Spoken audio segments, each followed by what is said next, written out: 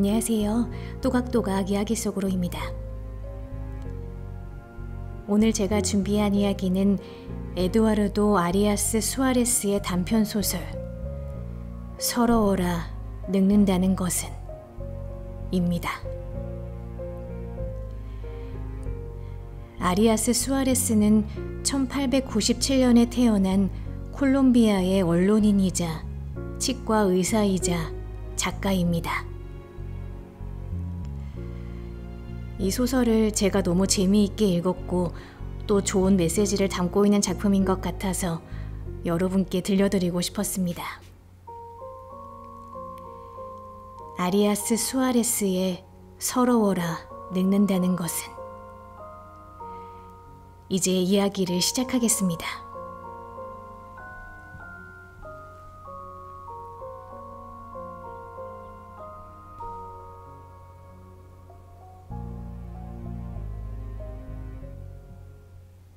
서러워라. 늙는다는 것은 아리아스 수아레스.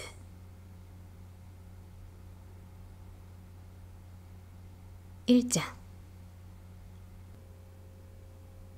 나는 20년 만에 고향을 찾아왔다. 독자들은 20년 세월이 흐르는 동안 사람이나 강산이 어떻게 변하는지 짐작할 수 있을까? 우리 어디 한번 어린아이를 하나 놓고 관찰해 보기로 하자. 말썽꾸러기 어린아이가 20년이 지나면 제법 점잖아지고 장난감 대신에 자동차나 청춘 사업을 하면서 젊음을 재미나게 보낸다. 또 다른 예를 들면 지금 눈앞에 보이는 저 2층 집만 하더라도 큰 빌딩으로 둔갑하는 세상이 아닌가. 그러니 지금 독자들이 바라보는 쓸쓸한 거리도 자동차나 버스나 각양각색의 사람들로 가득 찬다고 상상하는 것은 그리 어려운 일이 아니다. 여하간 나는 고향인 이 읍에 와서 그 발전하는 모습을 보고 기이한 감상에 젖었다. 사진을 통해 보았을 때는 그저 그런가 보다 했는데 막상 실제로 보니 모든 게 정말 너무나 달라져 있었기 때문이다. 이 읍에 도착해서 내가 처음으로 한 일은 하숙방을 하나 구하는 것이었다. 한 달치를 속 시원하게 선불한 나는 그 뒤부터 아무런 부담 없이 고향의 거리를 둘러보기 시작했다. 낮이고 밤이고 나는 노상 쏘다녔다. 내가 어렸을 때 늘 놀던 들판이 바로 여기였는데 지금은 흔적도 없어졌다. 저 멀리 베드로와 내가 고개를 잡던 시냇물은 도대체 어디로 갔을까? 우리는 고개를 잡고 난 후에 나무에 올라가 과일을 따먹곤 했는데 지금 그 나무들도 기억에 남는 장소를 찾아다니며 이미 사라진 흔적을 되찾으려 했었다. 그러나 중심지는 모든 게 너무나 달라져 있어 이미 옛것을 확인하기가 매우 힘들었다. 아마 여기쯤 학교가 있었을 거고 저쪽은 술집이 있었을 텐데. 내가 처음으로 찾아가 본 것이 바로 이 술집 자리였는데 지금 그 흔적은 하나도 안 남았고 대신 은행이 떡 버티고 서 있을 뿐이었다. 이처럼 거리를 쏘다니다가 나는 인디언들의 싸구려 물건들을 들여다보고 있었다. 실컷 보고 나서 다시 걸음을 옮기는데 한 마흔은 지났을 부인 하나가 나를 뚫어지게 바라보는 것을 등 뒤로 느꼈다. 나는 고개를 돌리자마자 그녀가 누구라는 것을 대뜸 알아보았다. 그녀도 또한 놀라움을 감추지 못했다. 우리들은 누가 먼저인지도 모르게 소리를 질렀다. 콘스탄티노, 메르세데스. 그녀는 메르세데스였다. 나의 사촌 여동생, 내가 사랑했던 여인이었다. 정말 온 정열과 영혼을 다 바쳐 사랑했었지. 20년을 두고 잠시도 내 머릿속에서 사라지지 않았던 단 하나의 여인. 바로 나의 사촌 여동생인 메르세데스가 지금 내 눈앞에 서 있는 것이다. 나는 오한을 느꼈다. 아마 얼굴이 파랗게 질렸던 모양이다. 우리는 잠시 아무 말도 하지 못하고 그 자리에 그대로 서 있었다. 그러나 그 경황 중에서도 나는 20년 동안 아름다운 여인의 용모가 어느 정도로 변했나 세밀히 관찰했다. 결론적으로 말해 메르세데스는 거의 알아볼 수 없을 정도로 늙어버렸다. 나는 지금 내 앞에 메르세데스를 지난날 꿈속에서 늘 방글거리며 웃고 있는 메르세데스와 비교해 보았다. 그 차이란 하늘과 땅 사이만큼이었다. 그녀의 아름다운 이마와 예쁜 눈만이 하나도 변하지 않았을 뿐이었다. 메르세데스, 아무리 세월 탓이라 하더라도 그때 당신이 나는 그녀의 변해버린 모습이 마치 그녀의 잘못이기나 한 것처럼 약간 비난하는 쪽으로 말하다가 입을 다물었다. 하긴 그건 그 여자의 죄가 아니니까 말이다. 어쨌든 우리는 반갑다는 표시로 연인으로서가 아니라 사촌 남매로서 포옹을 했다. 나는 이 포옹을 통해서도 세월이 메르세데스를 변하게 했다는 것을 새삼 실감할 수 있었다. 왜냐하면 그녀의 포옹은 거의 기계적이라고도 할 수 있을 만큼 차가웠기 때문이다. 20년 전에 메르세데스는 감정이 풍부해서 내가 고향을 떠날 때 붙들고 울기까지 했었다. 그런데 메르세데스도 나와 똑같은 생각을 품고 있었는지 먼저 입을 열었다. 정말이지. 몰라보게 변했어요. 물론 많이 변했지. 메르세데스는 내가 그동안 많이 늙었다는 걸 말하고 싶은 모양인데 왜 안 늙었겠소? 세파에 시달리는 동안에 어느덧 쉰 살이 넘었구려. 저도 많이 변했지요. 아니, 메르세데스는 예나 지금이나 똑같은데 뭘. 나는 메르세데스를 집까지 바래다 주었다. 그녀가 집으로 들어가자고 잡아 끄는 것을 나는 간곡히 사양했다. 아니, 들어가는 것만은 사양하겠어. 보아하니 결혼을 한 모양인데 남편이 어떤 사람인지도 모르잖아. 그런 염려는 할 것도 없대도요.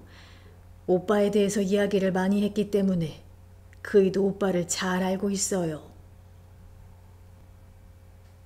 메르세데스는 발까지 구르면서 팔을 끄는 판이라 나는 억지로라도 들어가지 않을 수가 없었다. 정말이지 잘 사는 집은 달랐다. 눈에 띄는 것은 무엇이든 값지고 특이했다. 모자이크 물건들이 여기저기 알맞게 놓여 있었고 뜰에는 분수가 보였으며 고급 유리 램프를 곳곳에 달아놓았다. 나는 본능적으로 내 옷차림을 훑어보았다. 이럴 줄 알았더라면 구두라도 좀 닦고 옷도 다른 것으로 갈아입을 걸. 후회 막심이었다. 하지만 이미 소용없는 일이었다. 오빠는 너무 야심이 많아서 나하고 결혼을 하지 않더니 그거 보세요. 결국 하긴 메르세데스와 결혼을 안 한 죄로 얼마나 일생을 고달프게 살았는지 몰라. 그렇지만 그 때문만도 아니야. 실은 그 순간 어머니의 목소리가 귓전에 울렸다. 사촌과 결혼하면 집안 망하는 줄 알아라. 우선 너도 잘 아는 바와 같이 자식을 낳더라도 천치 바보나 병신 자식을 낳게 될 것이야. 우리 주위에도 이런 경우가 얼마든지 있지 않느냐. 결국 나는 어머니의 권유대로 메르세데스와 결혼하지 않기로 결심했던 것이다. 메르세데스는 지금까지 일어났던 일을 죄다 털어놓았다. 나의 어머니와 형제들의 죽음과 또 자신의 결혼에 대해서도 이야기했다. 아들 둘, 딸 하나. 이렇게 삼남매를 두고 있다고 했다.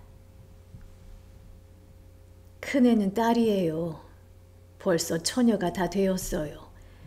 다들 처녀 시절에 나하고 똑같다고 그래요. 아들들은 자기 아버지를 쏙 뺀 거나 다름없이 닮았고요. 메르세데스의 남편은 예순을 넘은 노인으로 어느 모로 보나 훌륭한 분이라고 했다. 원래 의학 박사였는데 도중 사업에 손을 대어 크게 치부했다는 것이다.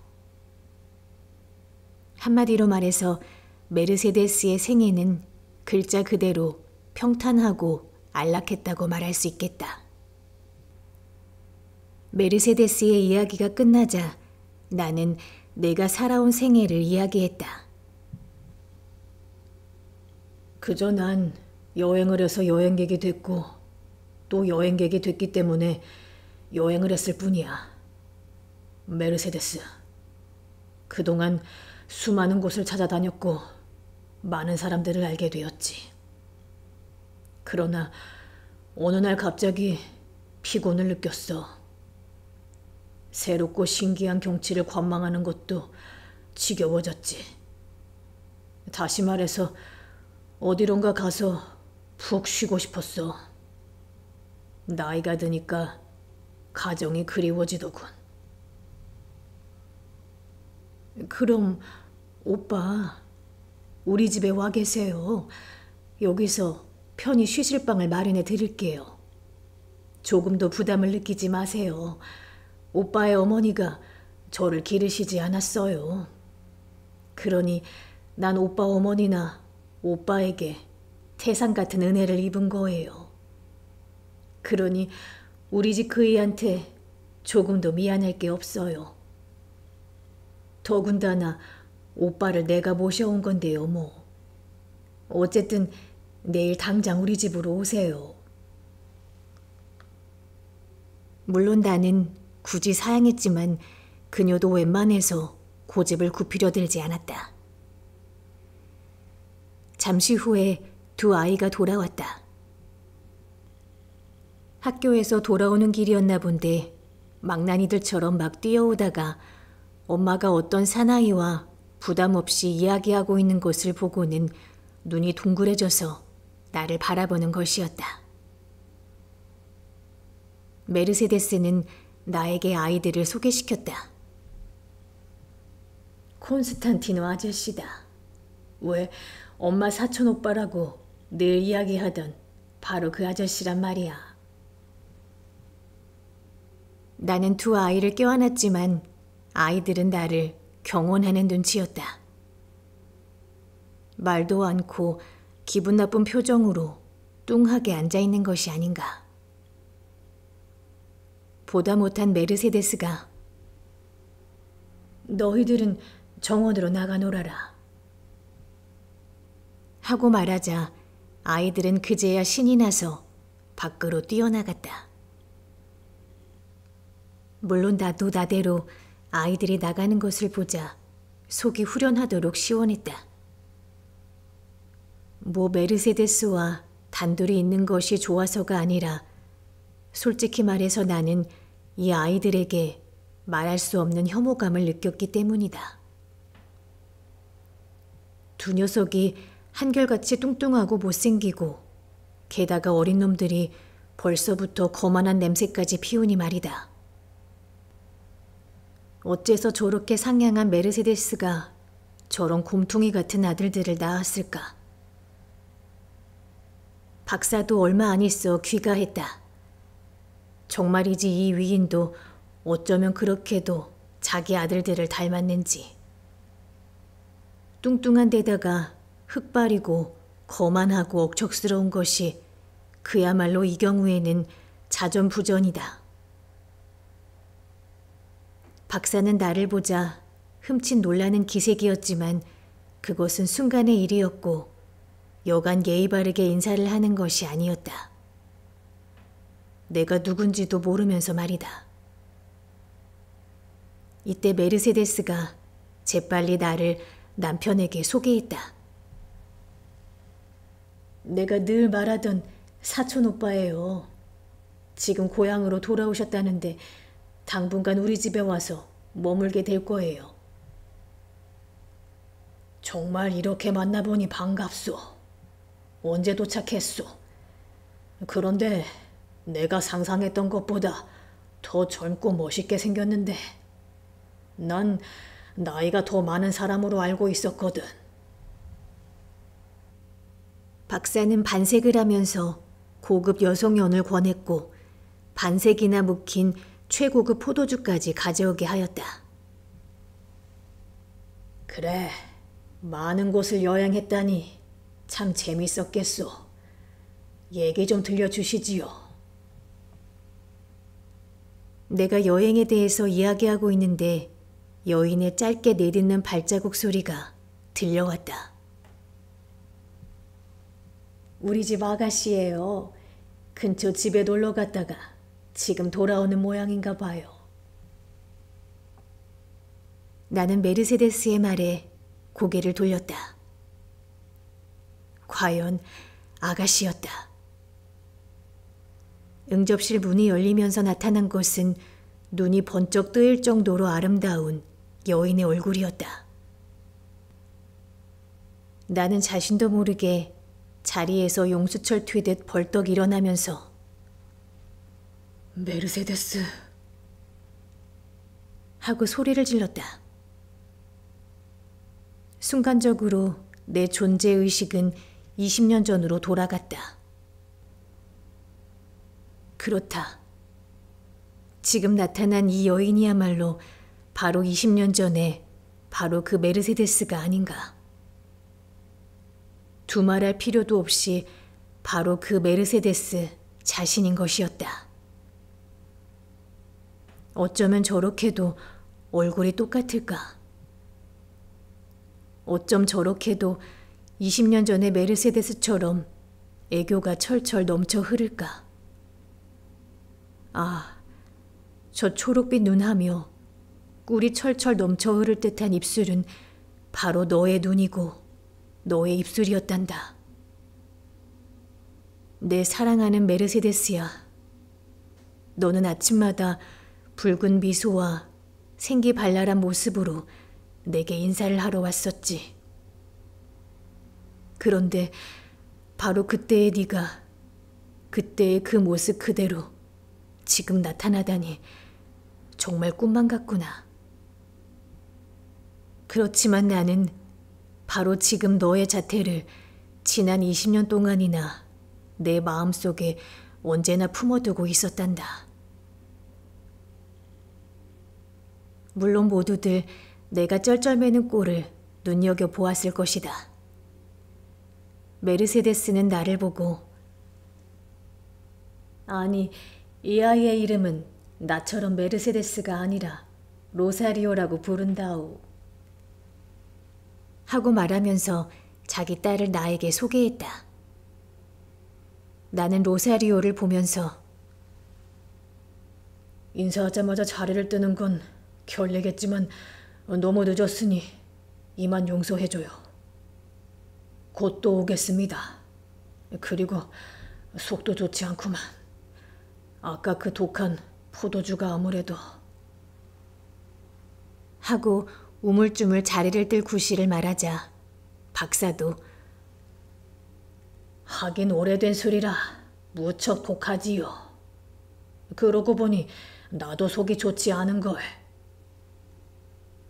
하고 맞장구를 치면서 내게 손을 내밀었다.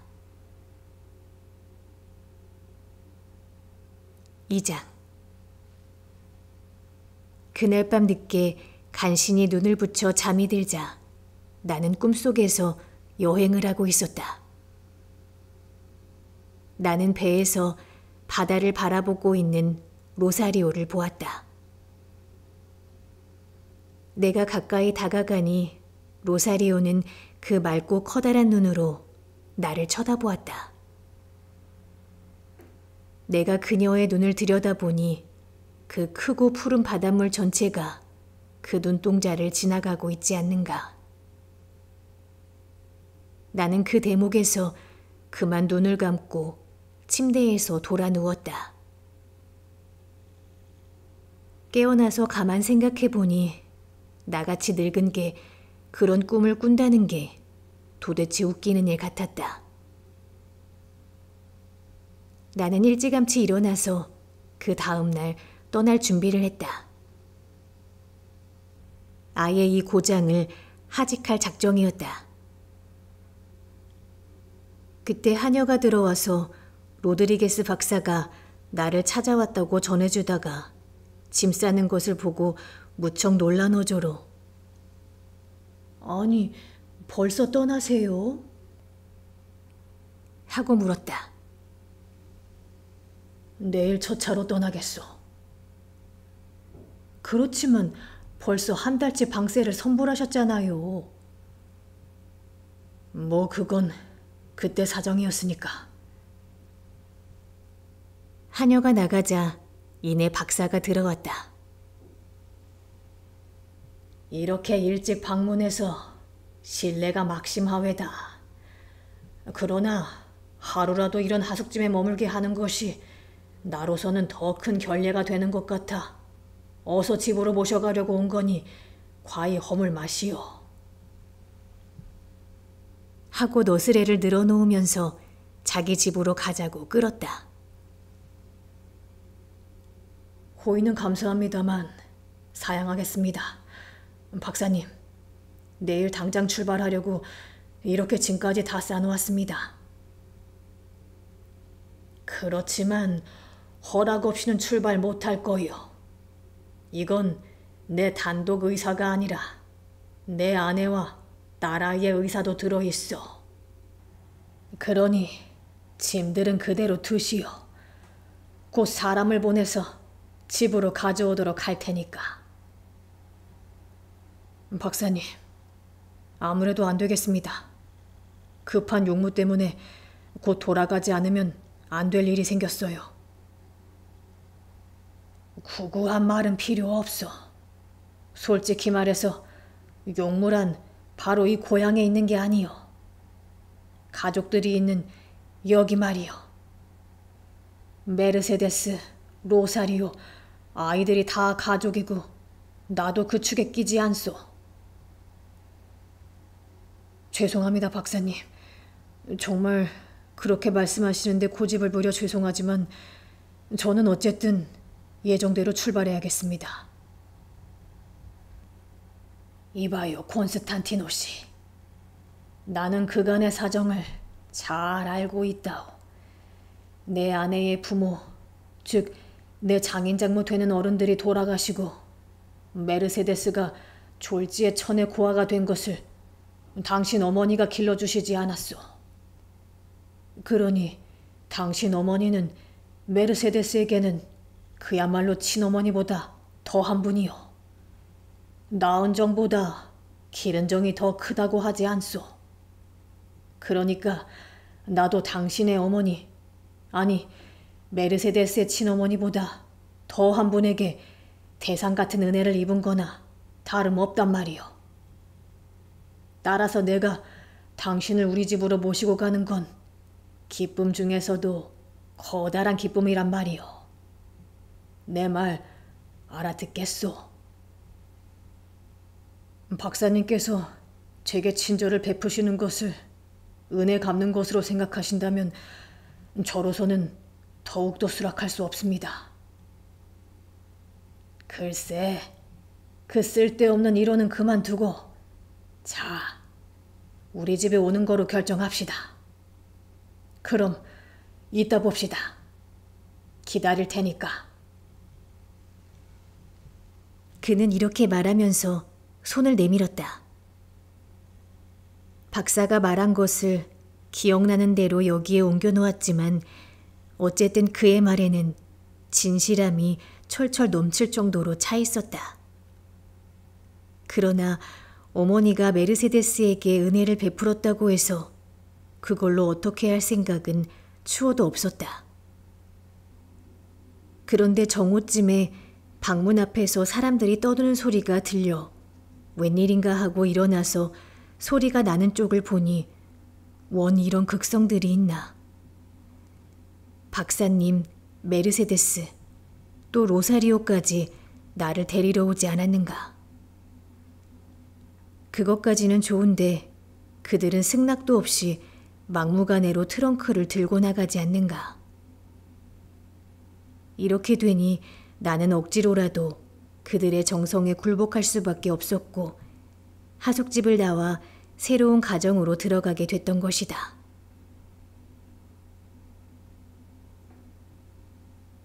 삼장 나의 새로운 방은 잘 가꾸어진 아름다운 정원에 붙어 있는 데다가 햇빛도 잘 들어오고 또 전망도 좋았다. 멀리 시선을 던지면 예쁜 마을이 눈을 황홀하게 했고 저 아래쪽으로는 맑은 시냇물 흐르는 소리가 귀를 즐겁게 해주었다. 또 내 방은 어떤가 하면 누가 봐도 잘 정돈되어 있고 깨끗했다. 내 침대 곁에는 어머니의 사진이 있고 정면에 걸려 있는 라파엘로의 성모 마리아와 아기 예수의 명화가 방안 분위기를 한층 돋보이게 했다. 그 외에 파이프 하나와 서바나 및 외국의 유명한 작가들의 작품들이 나란히 책상 위에 꽂혀 있었고 무수한 작은 그림들은 벽을 화려하게 수놓고 있었다. 한마디로 말해서 모든 것이 정성스런 손으로 다듬어지고 가꾸어진 흔적이 눈에 띄었다. 이 정도면 아주 편하게 지낼 수 있어. 참 마음에 들어. 나는 혼자 있을 때마다 방 안을 왔다 갔다 하며 중얼거렸다. 나는 창가로 가서 고개를 내밀어 정원의 향기를 맡았고 신선한 공기를 마음껏 들이마셨다. 카나리아 새들이 내 방 앞에서 노래를 부르는가 하면 비둘기들이 내 방 창가로 날아들기도 했다. 이 집으로 와서의 며칠 동안 나의 생활은 그저 편하고 즐겁기만 했다. 메르세데스는 항상 상냥했고 박사는 그 이상 더 친절할 수가 없었다. 내가 곰퉁이라고 흉을 봤던 애들까지도 여간 조심을 하지 않는 것이었다. 아침에 내 방 앞을 지나갈 때면 혹시 내가 깰까봐 소리를 내지 않으려고 발소리를 죽이고 걸어갔다. 로사리오는 나를 어린애로 하는지 눈깔 사탕을 갖다 주기도 했고 내 방에 꽃을 꽂아주는 것도 역시 그녀였다. 또 내가 좋아하는 음반을 골라 축음기를 틀어주기도 했다. 언제나 나를 따라다니면서 외국에 대해 이야기해달라고 조르기도 했다. 그러나 왜 그런지 나는 그런 편안한 생활이 어딘지 모르게 불안했다. 언제나 여행을 하고 있는 기분이었다.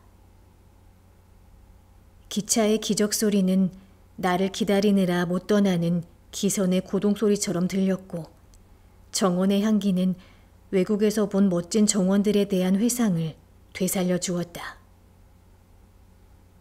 그리고 방 안까지 들리는 거리의 소음도 마치 바다의 노호 소리처럼 들렸다. 방 안에 얌전히 놓여 있는 트렁크만 봐도 뭐가 뭔지 모를 정도로 속이 답답했다. 왜 나는 아직도 그 트렁크를 갖고 떠나지 않는가? 그러고 저러고 내가 영영 여기서 떠나지 않는다면 어떻게 될까? 어쨌든 나는 아무것도 하는 일 없이 책이나 읽고 또 그렇지 않으면 로사리오에게 이야기나 들려주며 시간을 보내는 그런 생활엔 도무지 익숙해질 수가 없었다.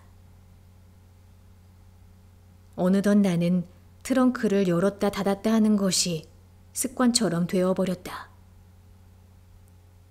그렇게라도 하지 않으면 직성이 풀리지 않았다. 다시 말해서 그렇게라도 해야 여행을 하고 싶은 열망이 다소나마 가라앉았다.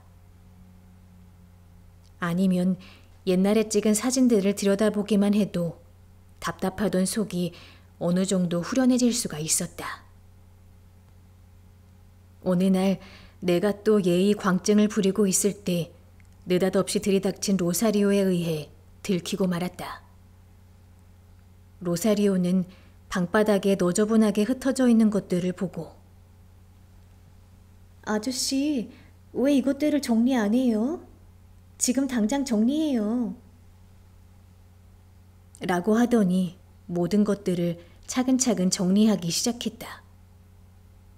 그녀는 물건들을 다음과 같이 분류했다. 희귀한 보석들, 여자 사진들, 원색 사진들, 일기장 등. 로사리오는 이렇게 정리한 것들을 한 묶음씩 묶어서 트렁크에 넣고 잠갔다.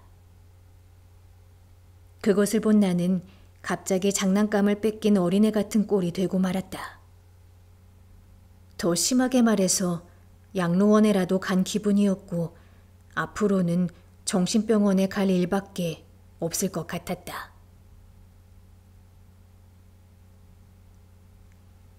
사장 몇 주일이 지나자 나는 현저하게 달라진 집안의 분위기를 실감할 수 있었다. 누구든지 집에 손님이 오래 묵게 되면 그 존재에 대해 거의 무감각해지고 만다. 따라서 손님이 처음 왔을 때와 비교해서 주인에 대하는 품이 사뭇 달라진다. 이거야말로 극히 자연스러운 현상이다. 나는 이 집에서도 그러한 자연스러운 변화를 몇 주일이 지나자 느꼈던 것이다. 그럼 어디 구체적으로 말해보자. 박사의 귀하신 두 아드님은 학교에 가려고 일찍 일어나서 이제는 나의 존재에 대해서는 통 신경을 쓰지 않는다는 뜻인지 아무튼 큰 소리와 함께 휘파람을 불고 쿵쿵거리며 집이 떠나가도록 법석을 떨었다. 이렇게 되니 나도 이런 분위기에 맞추어 아침 6시에 눈을 뜨는 습관을 기를 수밖에 없었다. 6시라면 애들이 일어나기 몇 분 전이었다.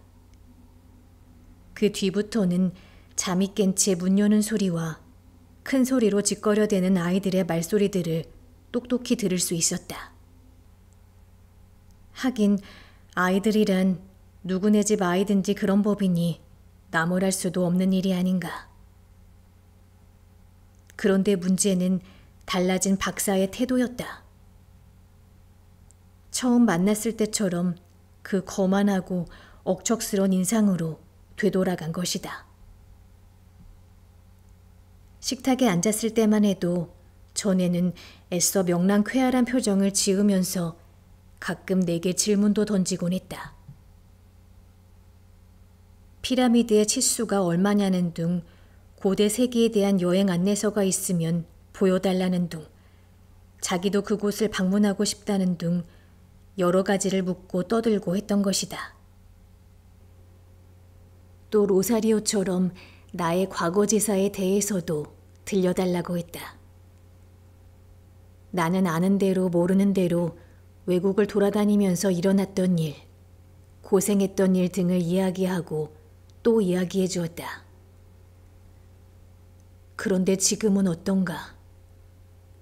박사는 굳게 입을 봉한 채 식사만 끝나면 벌떡 일어나 정원으로 직행했고 커피는 그곳에서 자기 아내와 딸과 함께 마시는 것이었다.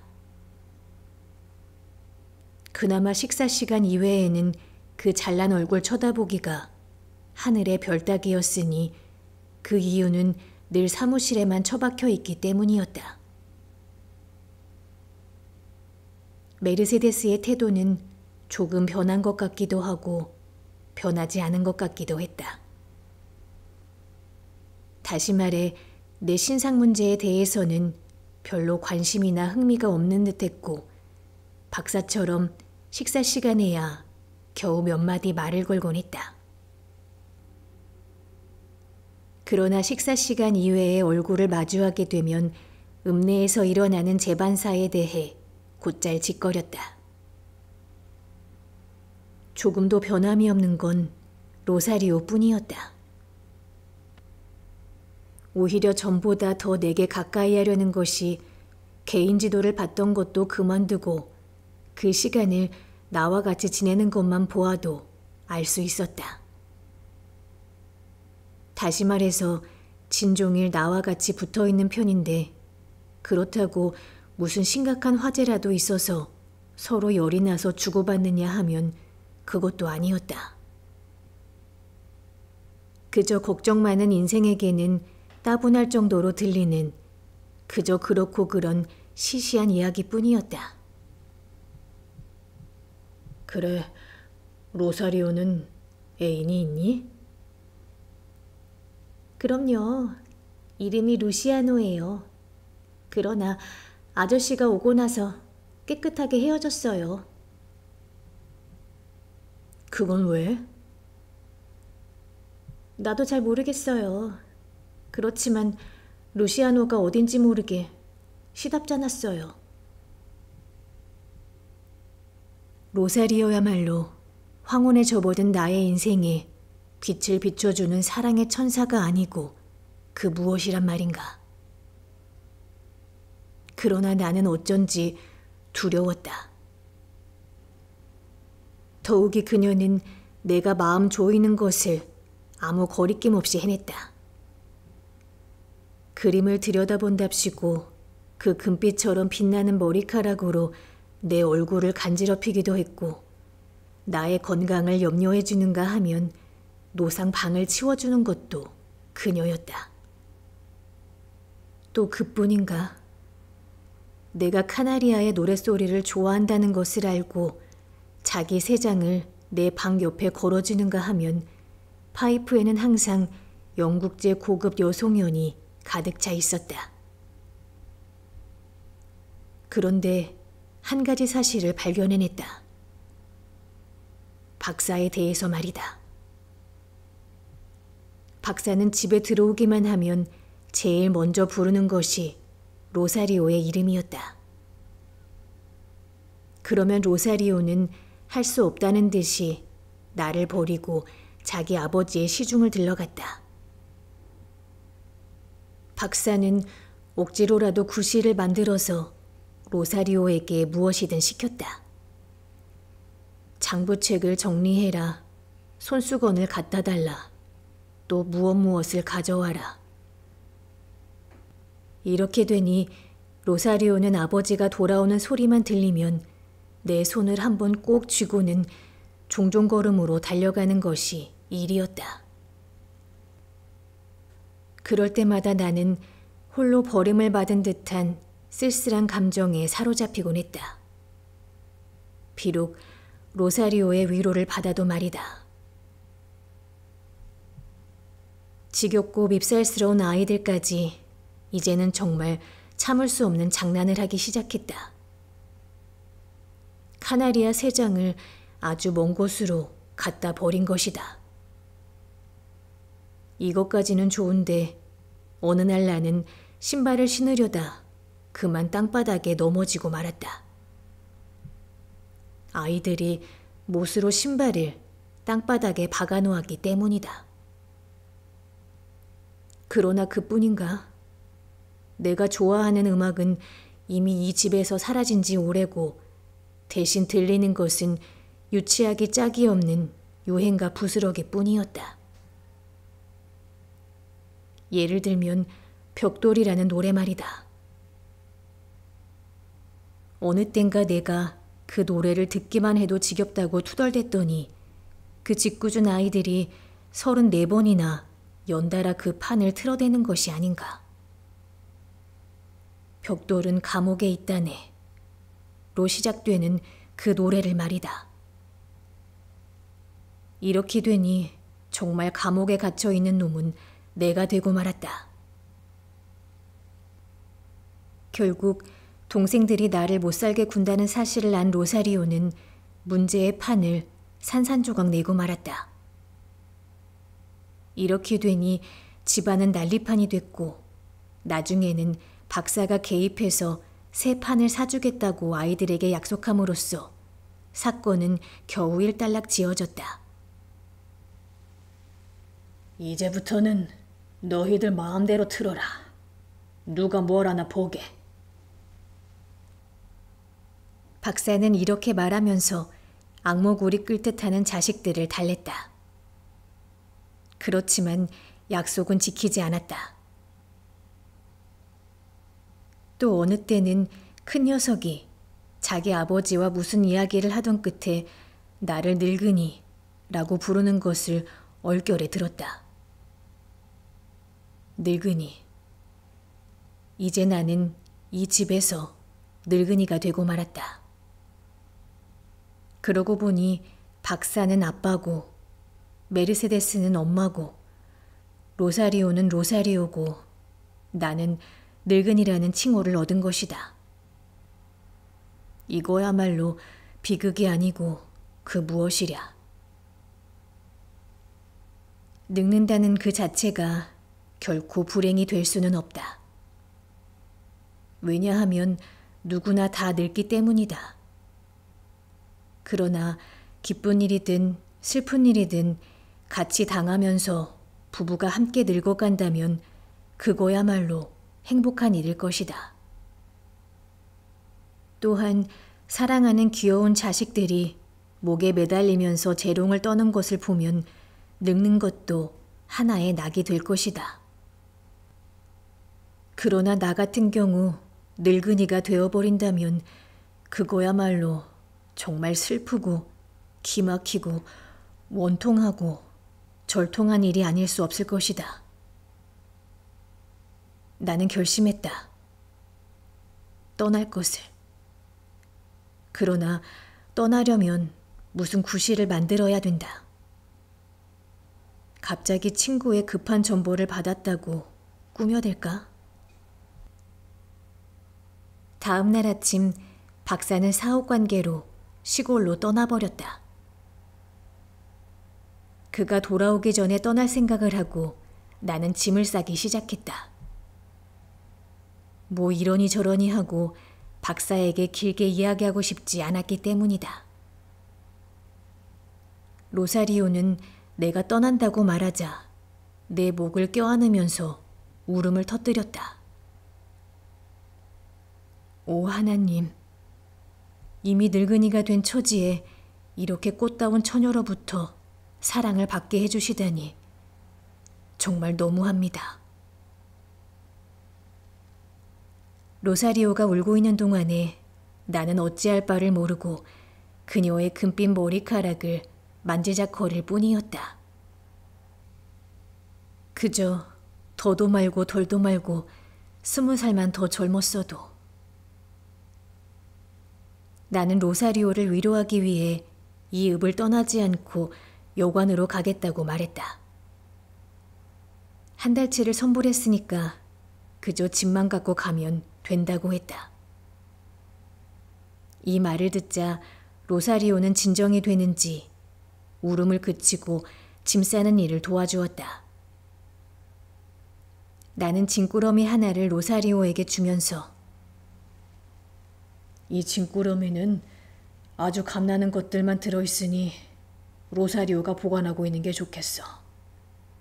내가 죽어버리면 그때는 로사리오가 영원히 간직해. 보석들이니 아주 값진 것들이야.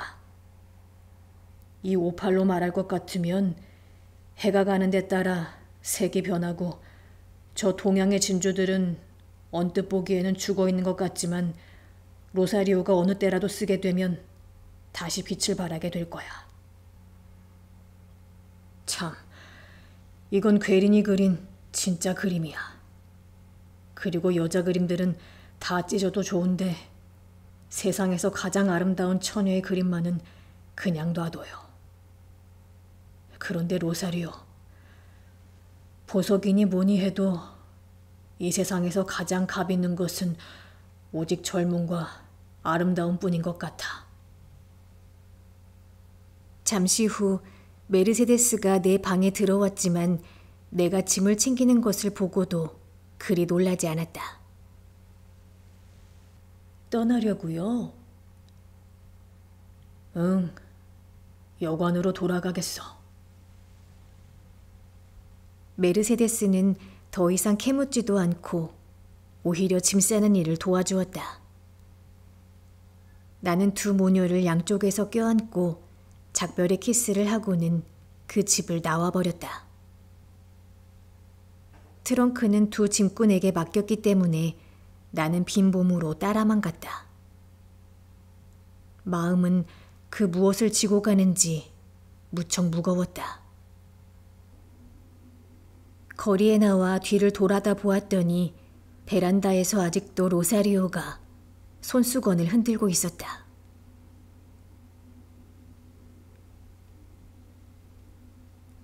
오장 기차는 들판을 신나게 달리면서 길게 기적을 울렸다. 철길가에 있는 집들의 뒷마당이 쉴 새 없이 내 눈앞에 가까이 왔다간 또 멀어져 가는 사이 집이며 나무며 개울이 빙글빙글 돌면서 내 뒤로 밀려가고 있었다. 저 뒤에서는 아직도 그 누군가 베란다에서 손수건을 흔들고 있을 것이다. 나는 다시 앞쪽으로 시선을 던졌다.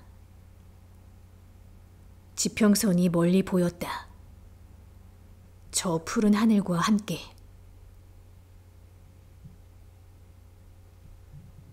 들어주셔서 감사합니다. 좋아요와 구독은 또각또각 이야기 속으로에게 큰 힘이 됩니다.